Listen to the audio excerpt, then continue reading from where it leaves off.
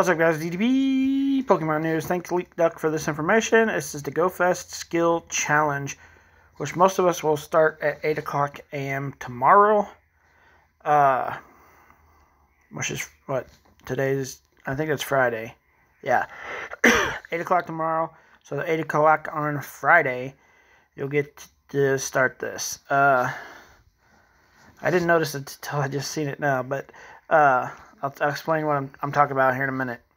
Uh, so the first one is catch 20 Pokeball, catch 20 Pokeballs, catch 20 Pokemon, get 100 Stardust, make 5 nice throws, get 10 Pokeballs, use 5 berries to catch a Pokemon, get 5 berries. And then the next one is catch 30 Pokemon. Well, I'm just going to read these ones here because they're, they're you get some a lot of Stardust Pokeballs and stuff there. Uh, you get the Ducklett, which is a brand new character to the game, and a Pikachu that can fly. But appear apparently, the Pikachu that can fly is going to fly because it has balloons on it. That's right, balloons. See the balloons there? He can fly because he has balloons on him, which is kind of cool.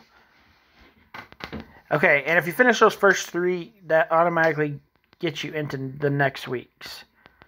The fourth one is takes uh, however long it takes you to get it done to get it done. But you have to get the first three done in order to uh, get to the fourth one, and in order to get to the next week, you have to get the first three done.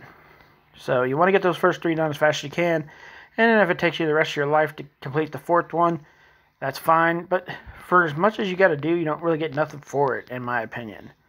Says catch 100 Pokemon, you get 5 Pokeballs.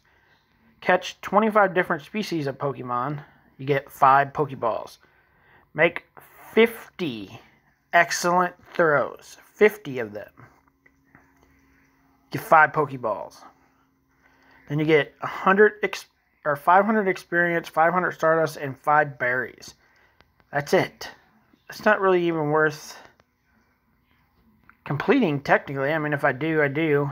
Like, I'm not going to make it a big effort to finish the fourth one. If if it takes me two years to do it, it takes me two years.